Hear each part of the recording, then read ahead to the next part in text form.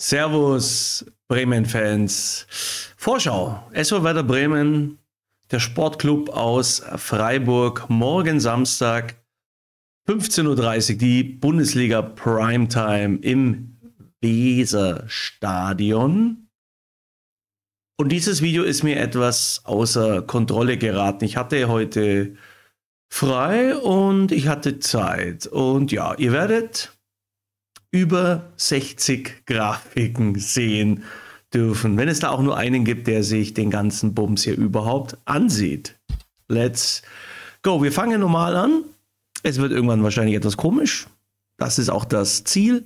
Tabelle. Der Werder Bremen ist Zehnter in dunkelgrün markiert und Freiburg ist Siebter mit einem Punkt.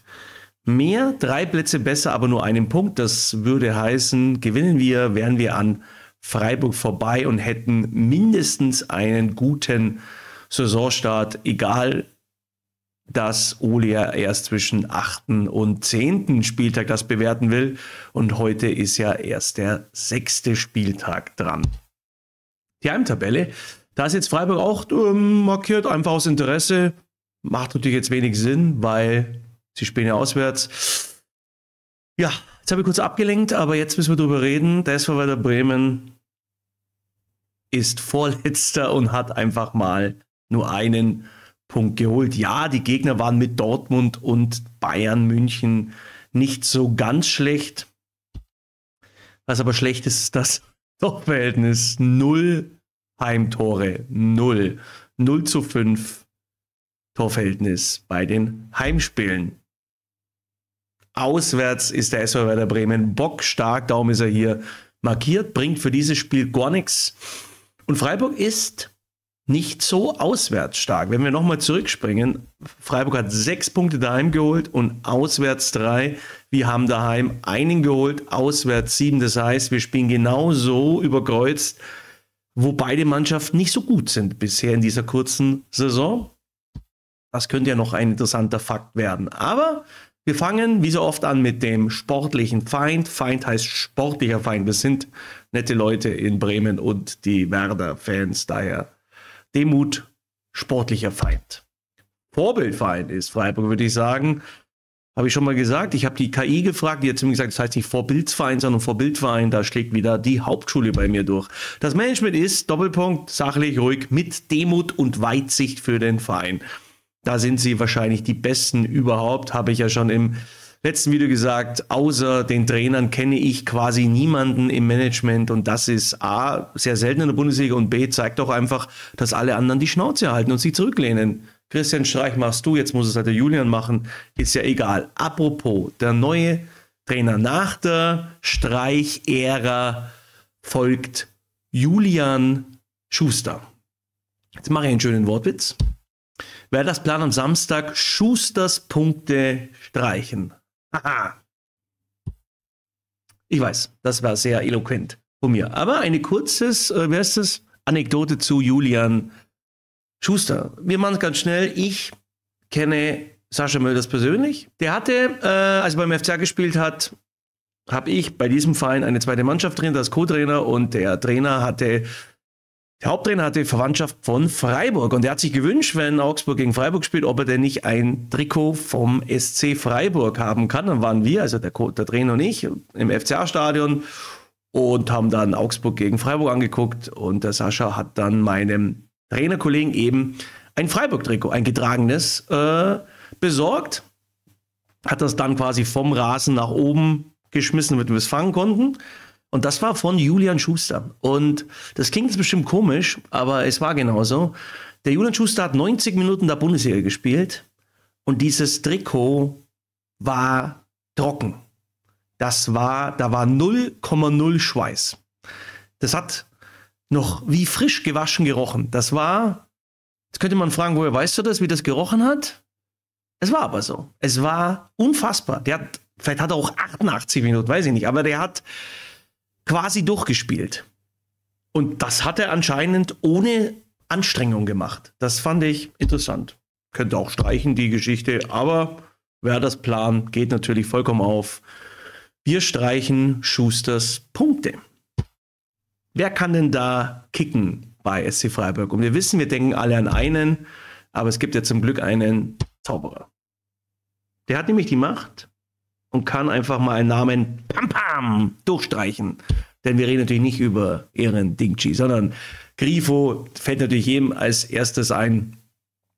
Doan ist ein richtig guter Adamu, einer der wenigen Spieler, der bei der Streichära nicht funktioniert hat, aber beim Schuster anscheinend äh, trifft. Gefährlich und Eggestein natürlich unser Eggestein. Wir gönnen ihm nur das Beste, vielleicht keine Tore gegen uns, aber sonst nur das Beste. Daumen ist er in unserer grüner Farbe, weil er eigentlich nur uns gehört. Sind wir doch mal ehrlich. Günther Lienhardt, zwei erfahrene Innenverteidiger. Äh, ähm, ich dachte, Lienhardt ist 24, habe ich gemerkt, er ist schon 28. Er spielt auch schon ewig. Wurscht. Wann, Basti, geht's denn endlich über den SV Werder Bremen? Und da ist er wieder, der Zauberer. Jetzt geht's. Endlich mit dem SV Werder Bremen los. Dafür sind wir ja auch da. Der Kader. Ups, ich habe das Mikrofon berührt. Das war unabsichtlich. 25 Mann. Wie in dieser ganzen Saison schon immer. Das wird diesmal aber ein Problem, denn wir müssen einige streichen. Wir müssen Backhaus streichen. Backhaus hat, glaube ich, Rücken.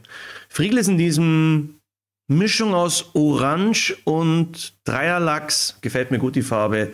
Er ist markiert, warum? Welcome back, Captain. Ralf Rangnick hat ihn nicht auch mal gesehen. Das freut dich sehr, aber ich glaube, am meisten freut es dich, mit dem Chef, mit dem Papa wieder zu spielen. Ich habe mir nicht angeguckt, ob der Marco äh, nominiert ist. Ich gehe einfach mal davon aus. Stark, er ist äh, verletzt, hat irgendwas Muskuläres, glaube ich. Velkovic ist noch in der Reha wegen seinem Fuß, was auch immer das ist. Linen hat eine leichte Gehirnerschütterung, so heißt es. Jinma ist immer noch verletzt am Sprunggelenk, ist das, glaube ich. Und Nankishi ist auch in der Reha. Was er eigentlich hat, weiß ich ehrlich gesagt gar nicht. Wünsche aber natürlich allen gute Besserung. Wir müssen jetzt aber sechs Mann streichen. 25 minus sechs sind 19. Und die DFL erlaubt 20 Mann auf dem Spielberichtsbogen. Das heißt, einer bleibt übrig. Beziehungsweise wir können noch einen. Wir können noch einen ähm, benennen, Ole. Und ich habe mir was Revolutionäres, Revolution ausgedacht. Das sind die 19, die auf jeden Fall im Kader sein werden, außer es passiert nur irgendwas, was ich jetzt nicht einschätzen kann. Heute ist Freitagabend, wo ich das Ding mache. Wir sortieren den Kader neu. Es geht darum, dass wir jetzt Positionen neu benennen. Und jetzt hat Trommelwirbel. Bam. Wow. Torwart in Verteidigung ist nichts geändert, aber jetzt gibt es keinen AV mehr, sondern es gibt ein Sch, Sch steht für Schiene und da gibt es nur drei Leute, Agu, Köhn und Deman, weil Mitchell ist ja jetzt einfach alles. Eigentlich könnte man All schreiben für alles. Da gibt es jetzt eine neue Position, die heißt Dumpf. Defensives Mittelfeld, Stay Alvero und Leo, ich liebe dich. Bittenkurt. Und gibt es Umpf. Das ist natürlich offensives Mittelfeld. Mitchell, ich kann alles spielen. Ja. Weiser, Romano Schmid und Hansen. Äh, und vier Stürmer. Das bleibt auch gleich. Wo fehlt was? Das, die Frage habe ich gerade gestellt und eigentlich fehlt sie ganz klar im defensiven Mittelfeld. Warum? Wir haben zwei Spieler, das ist nicht doppelt besetzt. Das wollen wir aber haben. Jetzt könnte man natürlich über einen Innenverteidiger auch sagen, vier bei drei ist auch fast zu wenig, aber offensives Mittelfeld, Sturm, die können eh untereinander tauschen. Auf der Schiene langen auch drei und Mitchell wäre auch da, der könnte auch noch spielen. Daher geht es eigentlich ein bisschen über IV, aber wahrscheinlich über defensives Mittelfeld. Jetzt könnte man sagen, ja, wer kommt denn? Denn der Profikader ist ja, da gibt es ja keinen mehr. Wir haben ja nichts mehr, also müssen wir in die zweite gucken. Ihr könnt auch Ayung gucken, da kenne ich mich aber nicht aus. Ich kenne mich auch nicht bei der zweiten aus. Ich habe mir einfach mal Transfermarkt direkt angeguckt. Klar, einen Rücker kenne ich inzwischen. Das ist Innenverteidiger, Capitano von der zweiten Mannschaft, glaube 28 Jahre, den könnt ihr mitbringen. Da habe ich geguckt, wer ist denn defensives Mittelfeld, wer ist denn da so marktwerttechnisch hoch? Bei 100.000 Euro gibt es einen Bellmann und einen Kohler. Kohler ist ein US-Amerikaner, also nichts irgendwie Jürgen Kohler, Enkel oder ähm, Sohn oder was auch immer, sondern ist ein US-Amerikaner, ist ja egal. Ähm, sind bestimmt zwei gute Kicker, ich kenne sie nicht. Das wären positionsmäßig passend, Röcker nicht positionsmäßig passend, aber dafür natürlich Qualität, Erfahrung und so weiter. Dann könnte man noch einen Imasun nehmen ähm, oder könnte auch noch einen Opitz natürlich nehmen oder keinen Sato nehmen. Aber das sind alles offensive Spieler. Daher glaube ich, ich glaube sogar fast, dass Ole gar keinen mitnimmt. Äh, ich weiß auch gar nicht, wie die zweite, wann die spielt und wo wollen wir eigentlich hin, weil eigentlich aktuell ist ja die Formkurve nach oben. Der Weg nach oben ist ganz weit natürlich, aber ich geht da ja was. So, dritte Liga anschnuppern wäre doch nicht so schlecht. Jetzt übertreiben wir wieder. Aber ich sage einfach, Rücker. Ich glaube zwar, dass eigentlich im Defensive Mittelfeld jemand fehlt, aber ich glaube, dass die zweite Mannschaft eher den Rücker dann da abgibt ähm, oder abgeben muss. Gefragt wird der bestimmt nicht daher. Wenn, glaube ich, Rücker oder niemand. Ich gehe mit Rücker ins Spiel und somit machen wir die Aufstellung. Die wird nämlich ganz interessant. Ich habe ja selber eine Baustelle aufgemacht, ähm, zumindest in meiner Bubble. Mal sehen, wie ich damit umgehe. Also, ihr seht ja wieder, geil, ich habe richtig gezeigt. Da oben seht ihr die Aufstellung, über mir seht ihr den Kader, da seht ihr, achso, ich muss so machen. Oh, das ist ja ganz unbequem. Egal, hier seht ihr die Bank, was mache ich eigentlich für einen Scheiß? Ähm, es geht los. Schwarze Markierung ist immer um das, um was es geht. Das heißt, drüber seht ihr, also es gibt da oben die Überschrift, über mir seht ihr, um welchen Spiel es geht und da sage ich dann schon, da sage ich dann schon, ich soll nicht mehr zeigen, was mache ich eigentlich? Ähm, wie ich es denn erwarte. Klar, bei Torhüter ist einfach, Z am Tor, Kolke ist somit auf der Bank. Innenverteidiger, da wird es ja schon interessant. Es gibt Friedel, Jung, Pieper, Malatini, Röcker. Wenn Röcker dabei ist, dürfte klar sein auf der Bank. Ähm, Friedel spielt auf jeden Fall. Jung spielt in meiner Welt auch auf jeden Fall. Es gibt Leute, die sagen, es könnte ja sein, dass Malatini links, weil wir ein bisschen Angst haben vor Dingchi-Tempo. Und ja, wir können das doch, letztes Jahr wissen wir noch, da war doch was Jung gegen Dingchi, gegen Heidenheim, Tiefe und mit Ball, äh, bei drei Meter oder zwei, äh, war er zwei schneller, der Dingchi gegen Jung. Aber das geht in der Kombination nicht. Wenn Velkovic noch da wäre und oder stark, dann hätte man über solche Spiele nachdenken können. In dieser IV-Konstellation ist Jung gesetzt, bin mir sicher. Friedel auch. Zentrum sowieso. Bleibt jetzt Pieper und Malatini. Was passiert? irgendwie glaube ich zwar, dass ich jetzt nicht recht haben werde, aber wenn Ole genauso denkt wie ich, darf er Malatini nicht spielen lassen. Äh, auch wenn das vielleicht der eine oder andere nicht hören will. Daher sage ich, Pieper spielt und Malatini auf der Bank. Und ja, Pieper hat jetzt auch nicht so super überzeugt. Das gebe ich schon zu. Auf der Schiene, wie es so schön heißt, ist es jetzt ja klar, weil Mitchell Weiser hat damit nichts mehr zu tun. Defensiv mache ich gar nichts mehr. Äh, die Mann sagt, hm, wir haben einen guten Vertrag. Ach, kurz eingeschlafen. Äh, Köhner und Ogu sind natürlich ganz klar gesetzt auf der Schiene. Defensives Mittelfeld. Da bin ich auch wieder emotional geladen, beladen, egal. Stay, mein Stay, den ich beim Kicker habe, 29 Punkte gemacht. Das sind viele Punkte für alle Kickbase-Spieler. Ich weiß, eure Spieler machen dann 400 Punkte, äh, weil sie für ihn Schwachsinn-Punkte bekommen. Da ist noch Kicker mit Demut. Das sind 29 Punkte, ist da ein Erdrutsch. Wie auch immer. Stay ist gesetzt. Ähm, Alvero oder Bittenkurt. Jetzt würden alle sagen, Alvero ist doch klar, weil Ole hat letzte Woche ein Alvero gebracht, nicht Bittenkurt. Die Sachlage ist klar, aber alles, was ich gehört und gesehen und gefühlt habe bei Alvero, sage ich, du kannst dich Alvero Stadisch spielen lassen. Das glaube ich nicht. Und darum sage ich, mein Leo Bittenkurt spielt Startelf. Ich bin da so. Wäre das schön. Offensives Mittelfeld. Weiser, Schmidt, Hansen, klare Geschichte. Romano Schmidt und Mitchell, wie viele Positionen kannst du spielen? Ja, Weiser spielt natürlich auch. Und somit bleibt Hansen nur auf der Bank. Das wird länger so bleiben. Und dann sind wir noch beim Sturm. Gibt es Duxch, Grill, Top und der Schotte Berg. Ähm, da hat keiner eine Chance außer Duxch. Top hat das sehr gut gemacht. Äh, Zeitschinden, das hat er stark gemacht. Grül muss noch, äh, der braucht ein bisschen, muss einen Schluck nehmen. Der braucht noch ein bisschen, bis er reinkommt.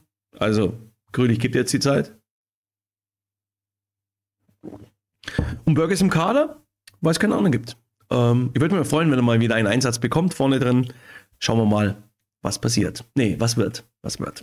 Das ist meine Aufstellung. Bin ja gespannt, ob ich recht habe. Äh, bin gespannt, ob ich mit Rücker recht habe. Bin gespannt, ob ich mit Pieper und Bittenkurt recht habe.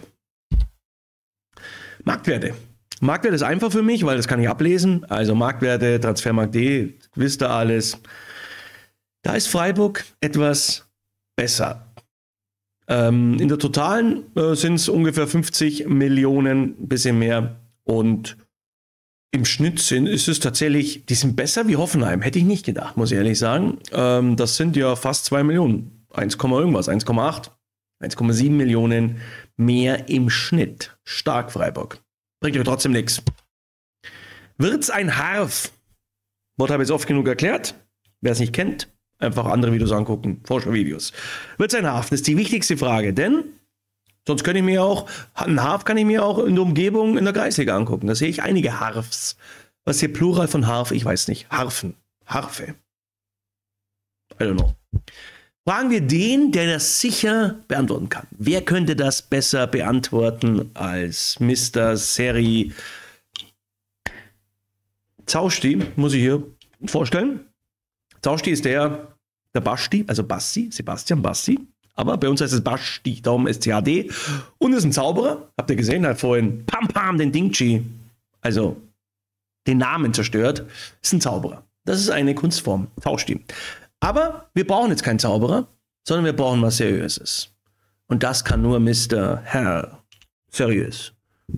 Das geht nur, wenn die Brille schief ist. Und dieser sagt, wird sein Harf, es herrscht eine erhöhte Harf-Gefahr. Das ist natürlich ein Hammer. Die Begründung, warum das so ist. Pam, pam. Tauscht die, zerschlägt das Wort Begründung denn Mr. Serious, es wird affig, egal. Wenn die Brille rutscht. Mr. Serious braucht dafür keine Begründung. Er hat immer recht. Ganz einfach. Wie gewinnen wir den Harp? Tausch die? Mach was. Tausch die. Du nicht. Ich sehe dich immer noch, aber egal. Egal. Wie gewinnen wir den Harf? Wer ist der unnötige Wer ist der unnötig Fleißige? So heißt das richtig. Ihr wisst ja, ich bin einer von der faulen Sorte. Ich mag es, wenn man Spiele gewinnt und dann trotzdem so die Mannmäßig sagt, ach ja, dass wir anderen arbeiten. Also, Laufdistanz sind wir schlechter. Sprints sind wir schlechter. Intensive Läufe sind wir schlechter. Wir sind richtig schlecht in diesen Kategorien. Zum Teil massiv schlecht. Laufdistanz äh, trennen uns 13 Platzierungen. 13. Das bei 18 äh, Mannschaften richtig, richtig viel. Interessant ist, dass die Laufdistanz und intensive Läufe Freiburg im ersten Drittel ist, aber dann bei den Sprints nicht. Was ist der Unterschied zwischen einem Sprint und einem intensiver Lauf? Das wäre mal interessant. Daher gehen wir jetzt runter. Fußballkunst beziehungsweise Fußballkampf. Wie sieht es denn da aus? Torschüsse. Da ist Freiburg auf Platz 2 und SV Werder Bremen ist letzter. Bock, letzte, wie immer schön. So schön das bei uns sagt. In der Passquote, hey! Ja klar, geht zum Fußball, sind wir wieder besser, ist ja klar. Siebter zu Platz elf.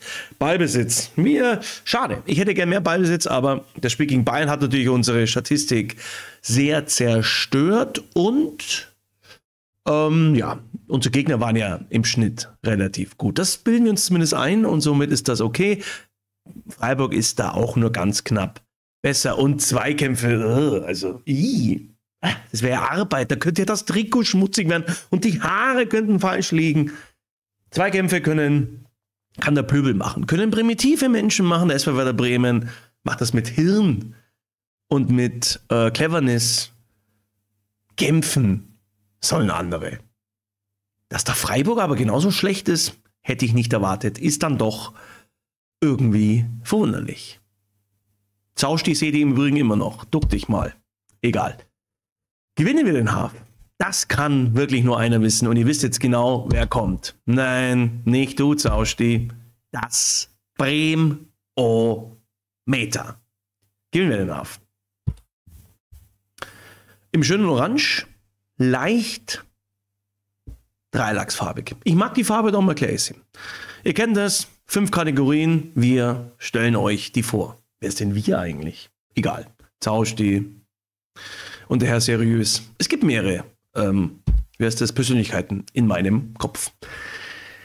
Die tiefste Stimmung wäre, wenn wir verlieren und Dingchi macht ein Tor. Da brauchen wir nicht lang rumreden. Wir wünschen Dingchi alles Gute, gesundheitlich und privat und alles sportlich auch, wenn es nicht gegen den SV Werder Bremen geht. Die Niederlage, oh, naja, die Stimmung wäre genauso schlecht, wenn wir verlieren und Eckestein ein Tor schießt. Äh, aber bei weitem nicht so schlimm wie Dingchi, weil wir Eckestein alles wünschen. Habe ich ja schon mal gesagt. wenn es unschien ausgeht, würde ich die Freiburger äh, fragen, habt ihr wenigstens Freikarten dabei? Und dann, wenn die sagen, nee, fürs Stadion haben wir keine Freikarten, ist erst nächstes Jahr, würde ich sagen, nö, ich rede nicht über das Stadion. Ich rede über den Europapark. Wir wollen ja wenigstens ein bisschen Achterbahn fahren, wenn wir dann äh, im Auswärtsspiel vor Ort sind. Ich mag Achterbahn fahren, ich mag äh, Europapark und daher wären Freikarten ganz schön nice. Spektakulärer Sieg, das wäre doch geil. Ähm, zum Beispiel, könnt ihr euch gerne angucken, dritter Spieltag in der Saison 2011-2012, also 2011 war das somit, weil es ja der dritte Spieltag war. Das war ein Heimsieg. Das Spiel mit den meisten Toren in der Historie in der ersten Liga vom äh, SV Werder Bremen und SC Freiburg. Es war ein 5 zu 3. Und wer hat getroffen? Papa hat getroffen. Was wäre noch besser wie ein spektakulärer Sieg? Da kann man sich jetzt streiten, ob das besser ist. Aber ich mach's mal, etwas langweilig. Ein klarer Sieg. Der höchste Sieg war am 30. Spieltag Saison 2009-2010. Es war ein 4-0 Heimsieg. Nicht schlecht. Und jetzt ist die Frage, was entscheidet das Bremometer? Wo geht der Pegel hin? Geht er ganz nach oben, gewinnen wir ganz klar, geht es ganz nach unten, macht Ding Chain Traumturm, wir verlieren das Ding. Es wird spannend. Trommelwirbel, müsst ihr euch jetzt vorstellen. Und das Bremometer entscheidet, Er nervt. Zausti weckt. Das Bremometer, zweiter Versuch, entscheidet. Tada! Es ist mal wieder positiv, aber es wird ein spektakulärer Sieg. Also es kann ein Sieg bis halbwegs zur Spekulation, zur Spektakularität heißt es, glaube ich, egal, ähm, werden. Ihr wisst, was ich meine. Bis jetzt sind gar nicht so viele Tore gefallen äh, bei beiden. Gerade bei Freiburg sind nicht ganz so viele gefallen. Aber ich glaube, dass wir nur gewinnen können, wenn hier Tore fallen. Und darum sage ich, der Harf geht wie aus. Es wird ein Heimsieg. Das Breometer hat es ja quasi angezeigt, so ganz knapp, aber ich bin mir sicher, wir gewinnen 3 zu, hab lang überlegt, 2. Enges Ding, 5 Tore, es wird Bremen. Gewinnt natürlich, wer schießt die Tore? Ganz klar Malatini, Alvero und Marvin. Ich schieße nur noch elf Meter als Tore. Duxch. Vielen Dank fürs Zuschauen. Ich sage Servus. Zauschti sagt auch noch kurz, guckt rein und sagt Servus. Vielen Dank fürs Zuschauen. Wer diesen Quatsch sich bis hierhin angeschaut hat, vielen Dank. Äh, dann musst du aber jetzt auch liken und kommentieren und ein Abo, du hast ja bestimmt schon. Und die Glocke vergisst du. Vielen Dank fürs Zuschauen. Ich bin der Basti B. Bremen-Fan aus Bayern. Das ist nicht, Kisse, äh, das ist nicht Karlsruhe SC im Übrigen. Da habe ich fast schon erraten, was das war. Egal. Äh, vielen Dank fürs Zuschauen. Ich bin der Basti B. Bremen-Fan aus Bayern. Ja, ich kann diesen Text nur, wenn ich von vorne beginne, weil sonst vergesse ich ihn wieder. Servus Bremen-Fans, ich bin der Basti Bremen-Fan aus Bayern und darum auch zur Verabschiedung. Der Winkarm ist da. Kein Tschüss, kein Moin, sondern Heimsieg. Servus. Das die Bär Bremen-Fan aus Bayern, Werder Bremen, Werder Bremen, SV Werder Bremen, Basti B. Bremen-Fan.